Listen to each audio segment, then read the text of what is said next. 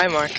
Hi, Kathleen. I want to tell you I missed working with you this week because I wanted to say goodbye. It's been two years. It's been absolutely wonderful. I always remember the time we rode around L.A. looking for new age records. and, remember that? And you know, I did rock and roll for eight years, and in the world of rock and roll, if they say you've gone gold, you've done well. Well, Kathleen, you're mega platinum. Just wanted to tell you that. Thanks, sweetheart. I'll miss Thank you. I love you. Miss you too. Love you too. Bye bye. This is uh, Kathleen's last day on CBS This Morning, and for me, I want to thank you for being such a good Thank you. friend and such a great teacher through this uh, two and a half years. But I think I for told you two and a half years ago we'd go through a lot together.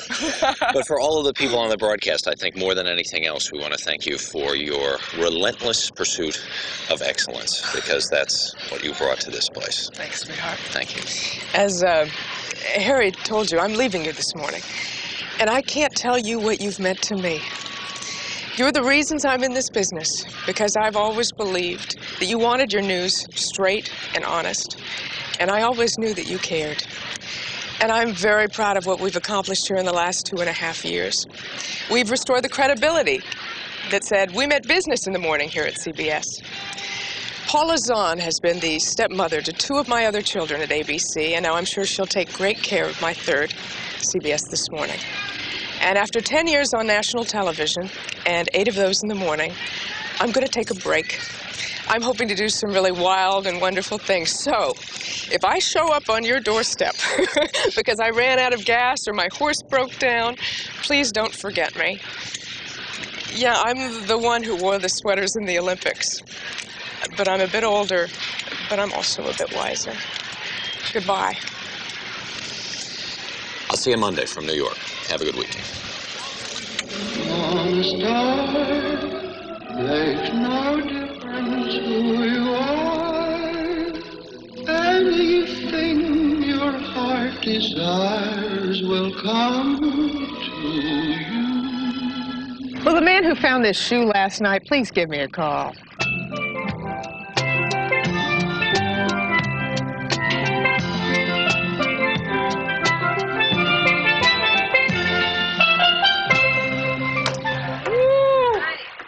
Beauty,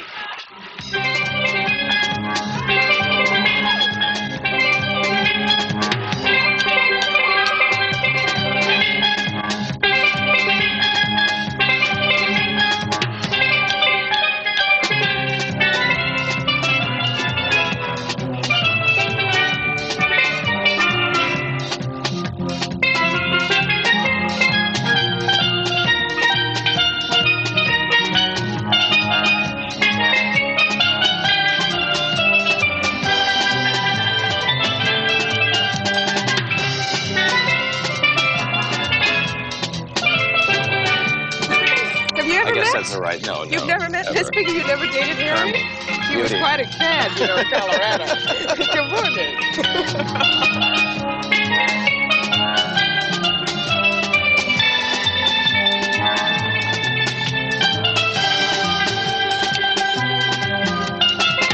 Boy, I wanted to get you in this teacup so much.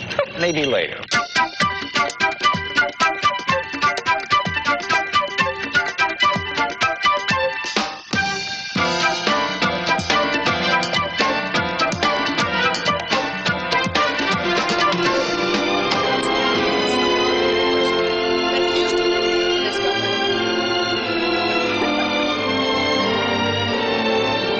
CBS This Morning for the Disney MGM theme park. Thanks, CB. That's SLB to Mouse.